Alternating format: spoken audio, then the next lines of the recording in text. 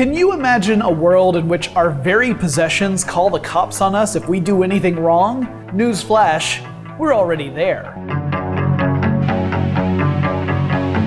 In early December 2015, a driver named Cathy Bernstein allegedly was involved in two hit and run collisions back to back in Port St. Lucie, Florida. But her car wasn't going to stay quiet about it. Instead, it automatically dialed 911, and that's how police were able to identify her as a suspect. Bernstein drives a Ford outfitted with a 911 assist system. The purpose of the system is to contact emergency services through a voluntarily paired cell phone if it detects that the vehicle has been involved in an accident. It gives responders a chance to track down someone who may be unable to call for help. Bernstein didn't speak to an operator on that first call, so the car did what it was programmed to do.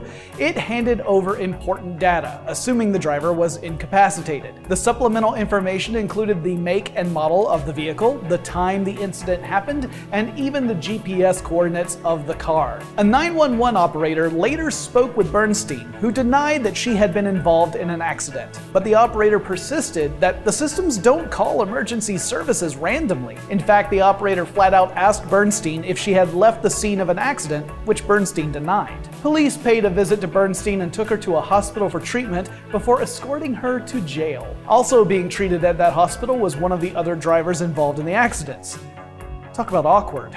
Ford spokesman Alan Hall told the Washington Post that the car did exactly what it was supposed to do. Bernstein could have been badly injured as a result of the accidents, and the call could have saved her life. Soon, this sort of technology will be in many more cars. The European Union will require all new vehicles to include similar emergency assist systems beginning in 2018. That's pretty interesting since the EU tends to place a high value on people's privacy. Car systems like these have the potential to strip away some of that privacy in favor of safety. Though at the moment, the 911 Assist is an opt-in feature. Drivers have to turn it on and pair their phone with the system in order for it to work. In the end, maybe we should be thankful that systems like these could cut down on hit and run incidents, even if it does turn our possessions into tattletales.